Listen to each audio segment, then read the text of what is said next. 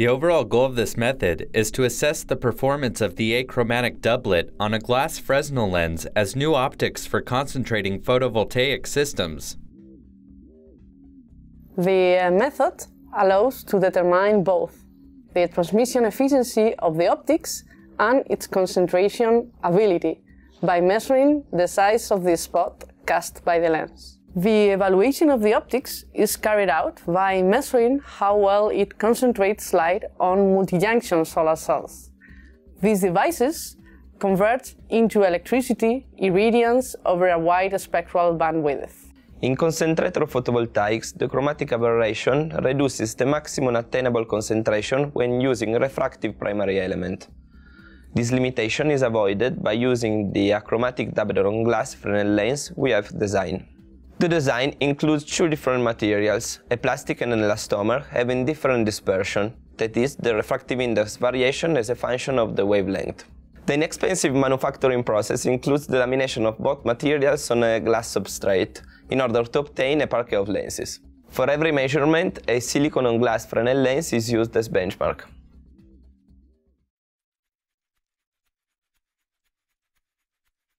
The solar simulator for concentrator solar cells, Helios 3030 from Solar Added Value, has been used to perform the measurements.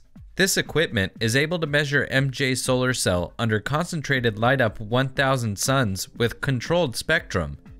Place the top, middle, and bottom reference isotypes inside the solar simulator along with the solar cell to be measured. Place them as close together as possible in order to reduce errors due to non-uniform illumination at the measuring plane. Next, adjust the flash lamp height in order to reach the desired level of concentration. Add the necessary filters to adjust the spectral distribution. Then, connect the isotypes in the cell to be measured to the data acquisition board of the solar simulator.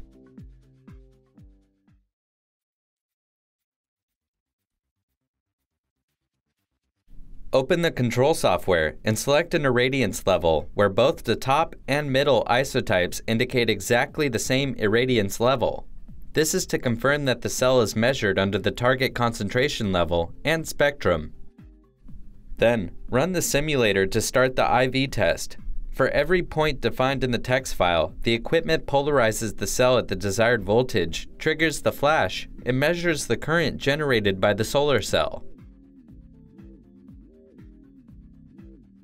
Repeat this process at different concentration levels to check that the photocurrent generated by the cell changes linearly with the concentration, confirming the reliability of the calibrated solar cell as light sensor for lens characterization.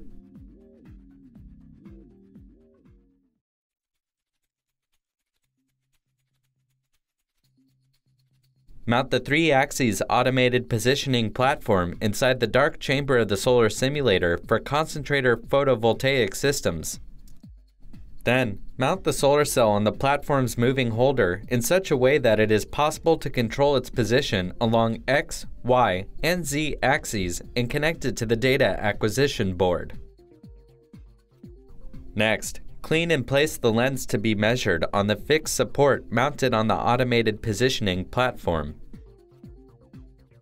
Use the moving platform to center the solar cell with respect to the lens and to place it at the optimal focal distance. Then, use the spectroheliometer containing three isotype cells inside collimating tubes to assess the spectral conditions during measurements. Close the simulator curtain to block all external light sources. Open the software controlling the solar simulator and press the button Light Pulse to trigger the xenon flash lamp. Next, determine the current generated by the solar cell as the measured value when top and middle isotypes indicate exactly the same irradiance level. Write a text file with several lens to cell distances around the optimum value and repeat the measurement for every position. Repeat all measurements substituting the achromatic doublet on glass Fresnel lens with the silicone on glass Fresnel lens that will be used as a reference.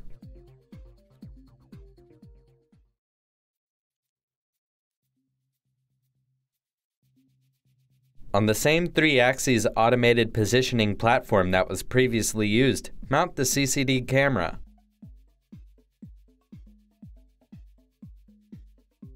Select the optimum focal distance. Adjust the holder to place the spot of light so that it is approximately centered on the CCD sensor. Then, add a short pass filter to block light whose wavelength is longer than 650 nanometers. In this manner, only the light that is converted into electricity by the top subcell within a multi-junction solar cell will be recorded. Trigger the xenon flash lamp and synchronize the CCD camera to take a photograph of the light spot projected by the lens. Process the photograph to select an area that includes the spot and calculate the centroid of the irradiance spot. Calculate the diameter of the light spot projected by the lens. It is defined as the diameter of the circle containing 95% of the light that reaches the CCD camera sensor. Next, take one photograph for every position around the optimum focal distance that was previously defined. Repeat the measurements with the short pass filter to block light whose wavelength is shorter than 650 nanometers. In this case, only the light that is converted into electricity by the middle subcell within a multi-junction solar cell will be recorded. The previous measurements can be repeated by placing the lens under test inside a thermal chamber able to control its temperature. The chamber wall needs to be transparent for all wavelengths of interest.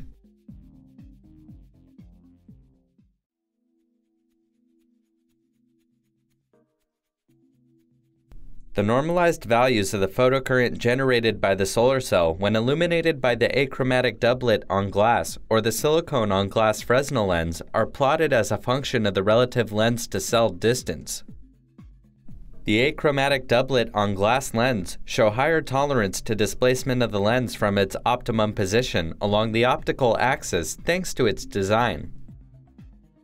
The evolution of the spot diameter corresponding to the top and middle subcells within a multi-junction solar cell is plotted as a function of the lens to receiver distance for both lenses. The displaced curves in the silicone on glass sample is due to chromatic aberration. Since the refractive index for short wavelengths is higher, the focal point for blue light is closer to the lens. Conversely, for the achromatic lens, the position of the minimum spot for blue light corresponds exactly with the minimum spot for red light, proving the lens achromatic behavior. The light spot enlargement due to temperature variation for the silicone on glass lens is larger than for the achromatic lens. In outdoor operating conditions with strong thermal excursion, using the achromatic lens would make the system performance more stable.